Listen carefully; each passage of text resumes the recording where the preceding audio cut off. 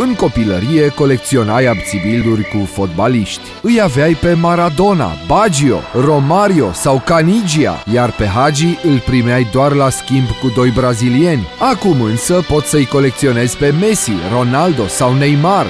Dar amândoi știm că asta este o prostie.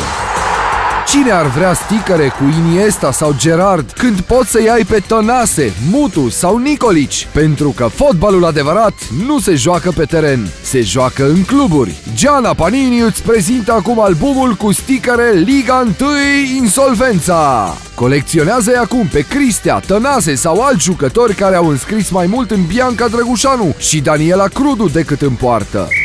De ce să iai pe Raul, Zidane sau Figo când poți să iai pe eroii tăi adevărați din Liga 1 Insolvența? Băieții care au marcat la Gina Pistol!